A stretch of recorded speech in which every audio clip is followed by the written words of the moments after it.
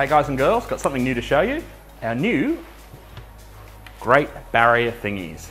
Now the Great Barrier Thingy sits on the bottom of the bucket and what it's for is when you're washing, all the dirt in that falls down through it into the base so it doesn't grab into your wash tools. Now we had a look at the design of the different ones that were out there and we changed it up a lot. We've been working on this for the last eight months.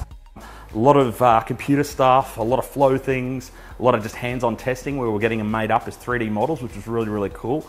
So what you've got, you've got these beautiful elongated round circular areas and the whole idea and thought process around it was when you're pushing down, the water with the traditional you know, type of uh, bottom protector would actually hit these areas that are like squared off and it'd make want the water push back up.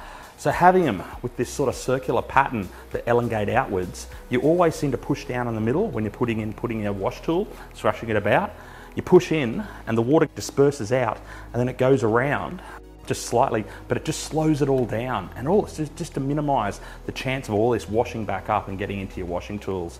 Now we've also made them a hell of a lot deeper, about yay much more, a little bit taller as well. We've made them of very heavy plastic so they do actually sink. Too many of these buggers, they float to the top, you're like, get down, you bastard.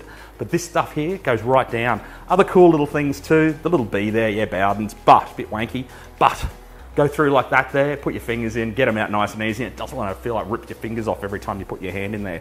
All beautifully made, Australian made as well. Uh, very proud about that. Um, we've got a crew in Brisbane. We've been working in, in, collaboration with to develop these and create them and make them for us, and we're pretty stoked about them.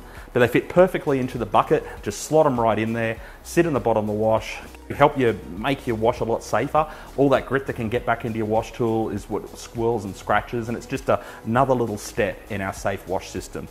Anyway, I hope you really love them. It's been a big job of ours to get these done. Give them a go. Let us know what you think. Thanks for watching.